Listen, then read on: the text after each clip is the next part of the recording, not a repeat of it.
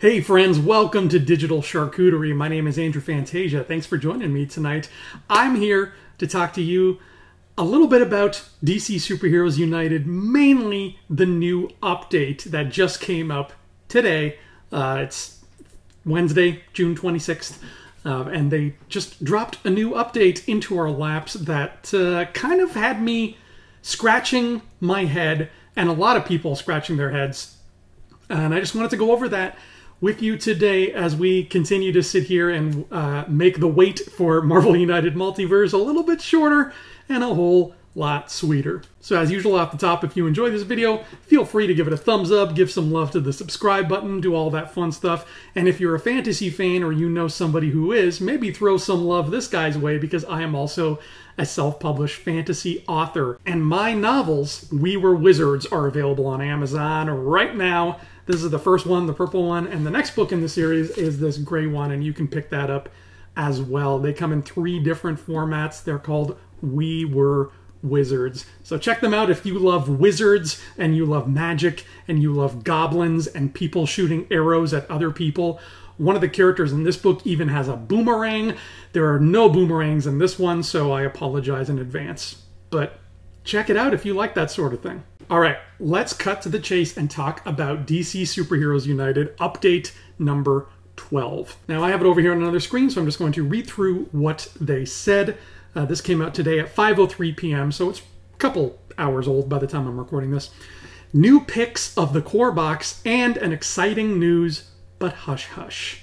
We'll get to that a little bit later. But as we scroll down, there are some really nice high quality pictures of the miniatures, uh, that, according uh, to the update, Todd Patriquin from Imagine All the Meeple, which is a great name, um, took some cool pics of the board game, and that they will share those on the social media channel in the next few days. Awesome. There's a close up of Darkseid where we can see the rock in his skin and all that stuff. So as we scroll past those, then we get to the very bottom where it's almost like an addendum. I, I thought I was missing something. I'm like, oh, this is the news, but it's here. Apparently, DC Superheroes United is getting a retail exclusive core box.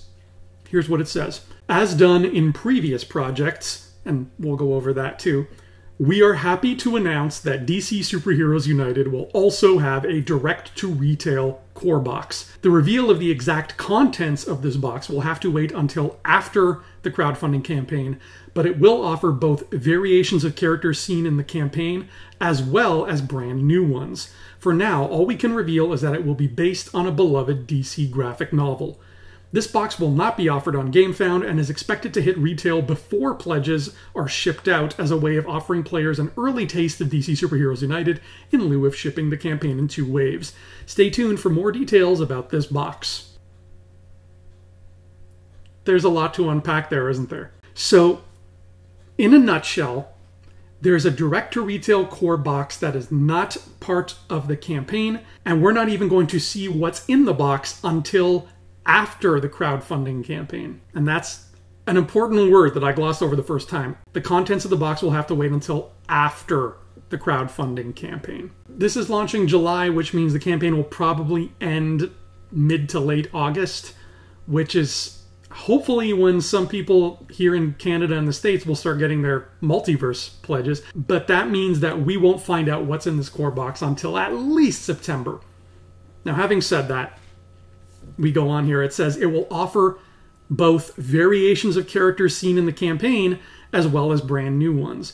Again, there's a word here that's super important, and the first time I read it, I glossed over it, so I want to make sure we're all on the same page. Variations of characters seen in the campaign. When I first read this, I thought variations of characters seen in the core box. That was where my head went at first, and it's completely not that. It's character seen in the campaign. That makes a lot more sense. For now, all we can reveal is that it will be based on a beloved DC graphic novel. So, people are in the GameFound comments comparing this to Spider Geddon in the way that it was a retail exclusive core box that wasn't part of the multiverse campaign. And I mostly agree with that. I think Spider Geddon is the closest thing to that. Um, Spider Geddon was a little bit more unique though because it was such a strange outlier. It gave you a bunch of characters, but how do I put this? They were such niche characters because nine out of the ten of them had not been represented in Marvel United before, right? So yes, it's hitting retail, but the average Joe walking down that retail thing is like, oh, finally, a core box that gives me Scarlet Spider. Huzzah! That was a box full of Spider Man deep cuts, is what it was. It was full of Spider Man deep cuts. It kind of was cashing in on the Spider Verse movies, but also not because it didn't offer an alternate Miles. It didn't have an alternate Spider Gwen. Like it was really just its own little thing. So even though Spider Geddon is the closest thing to this, it's still not quite what this seems to be. Because this is saying variations of characters seen in the campaign. The only variation that is in that Spider Geddon box, at least in my opinion, is the symbiote Spider Man. Because it's a, a skin, right? It's an alternate variation slash skin of vanilla Spider Man. But this sounds like something totally different. And variations are something that I think we as fans can all expect to see here because DC, way more than Marvel, is all about putting different people in the same costume, right? There's like, there's been, what, seven flashes? So the inevitable question is what is the beloved DC graphic novel that this is supposedly going to be based off of? And that tells us something already, though. That tells us that this campaign is going to follow in the footsteps of the multiverse campaign, where multiverse, the first two Marvel United campaigns were really about just getting you characters. Like, here they are, here's more characters. Whereas Multiverse was about adapting stories from the comics, and the boxes were themed around the stories, not around the characters in the box. So, you know, instead of the box being called Inhumans, it was called War of Kings because it was about a story. Maximum Carnage, Civil War, etc. Uh, and that allowed them to do some variants on season one characters that kind of needed a tune up anyway. So this looks like this is going the same route. That we can expect a lot of our expansion boxes to be story specific, story focused, and not necessarily character focused. So, with that being said, a beloved DC graphic novel. I'm not the first person to point this out. I'm sure other people in the chat have seen this, but CMON likes to get a little dad jokey and put some little hidden codes and things into all of their um, their messages and their updates. And I mean, it it's not exactly subtle when they say in the updates title exciting news, but hush, hush. And both of the words hush are capitalized. I think it's safe to say that might be the story they're adapting. Batman is just a household face, right? You put because this is this is gonna be a core box. This is gonna be a retail core box. So you put Batman anything in retail, people know, right? It's not like Spider Geddon. I mean, Spider Man is is a, a really household face too, but Spider Man himself was not really in that box unless you're a Spider Man fan, right?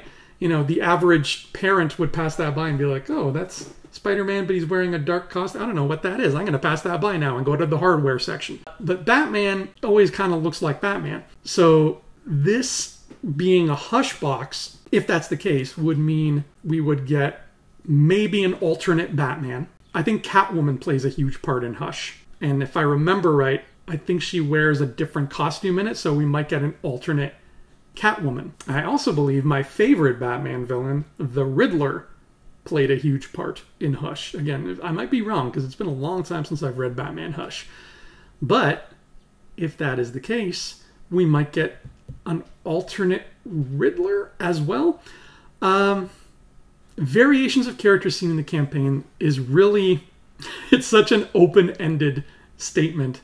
And the reason why my head initially when i read this the reason why i thought alternate characters from the core box was because the core box has a lot of characters that could be done differently very easily. I know a lot of people were saying that this Darkseid is a very specific take on Darkseid and some people were saying, you know, it'd be cool to see a different take on Darkseid, which I think we still might get, but I think that's still his own box. I mean, there's a ton of different Batman, like that's a given. Lex Luthor is uh, a character who I think a lot of people were kind of hoping to see as an anti hero. So we might end up with a heroic Lex, a box with a heroic Lex.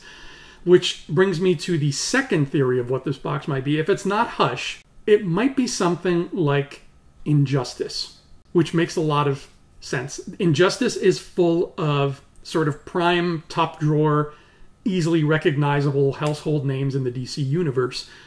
And it's very, very popular. I mean, Injustice was so popular they made games out of it. It's got its own animated movie, I think, and, and like they've Injustice has kind of become a brand unto itself, this Elseworlds thing that we hold up on a pedestal next to the real thing because it's just it's so beloved. Even the Zack Snyder movies were kind of knocking on the door of injustice in some of those flash forward scenes, and they were going to go in that direction before uh, that movie franchise kind of fizzled out. So even though Hush sounds like a fun bet, I think Injustice is the more likely of the two because that would give us an evil Superman, which is kind of a thing that DC people love to ruminate on and the idea of having to fight Superman as a villain is terrifying, so that would be just a fun challenge. It would also give us a lot of cool variations of just these basic characters that we'll almost definitely see in this campaign, like Lex Luthor and Batman, like Green Arrow, like Harley Quinn. And the reason why I think this works the best is because, in terms of the DC world, Injustice is the story that I think it reminds me the most of Marvel Civil War. And what I mean by that is this I know that sounds crazy because they're very much not alike. But when you look at the Civil War box that Marvel United gave us, right? If they had adapted Civil War in that box much more faithfully as the way it was in the comics, it would have been a lot more characters that we had already had in the game right? Captain America and Iron Man, sure, but like Spider Man was huge in Civil War. Daredevil was huge in Civil War, Mr. Fantastic, I believe. If they had been drawing from comics primarily, it would have been a box full of repeat characters. And we know CMON didn't want to do that. That's why we got the box as it is, where we have some cool people like Kate Bishop and Tigra that we still were waiting to get our hands on. Injustice is similar because Injustice, the key players in that story, as far as I know, because I haven't read it. Let me make that a caveat. I have not read Injustice, but the key players in that story are people like Superman, Batman, Lex Luthor, people who we can expect to see in this core box and in, throughout the rest of the campaign. So this seems like a safe bet because it's going to be full of alternates. Uh, it's going to be it's going to give the retail people, the people who are not aware of this GameFound thing at all, it's going to give them a chance to look at the shelf and say, oh, I can purchase Superman and Batman and Lex Luthor and whatever, all these characters I know, and I can have that in a box because I don't know this GameFound exists. But it can also give us a chance to have this alternate story like Civil War if we want to opt in and get that. And that has nothing to do with the campaign. So it's not like we're spending money on this campaign on a box that's going to be full of repeat characters, right? It's not like this $500 uh, all in pledge that we would make is weighing on us like, ugh, you know, 40 of those dollars are for this box where it's just another Batman and another Superman. I wish it was just more different characters.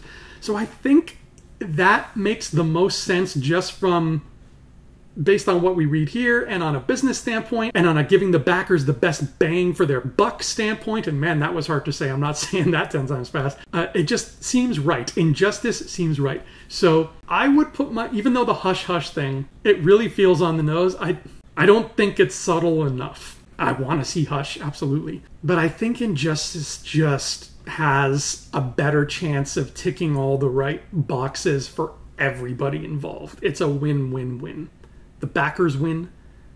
The people who only see this game in retail win. CMON wins, right? And if we, the backers, because if you're watching this, you're probably thinking of backing.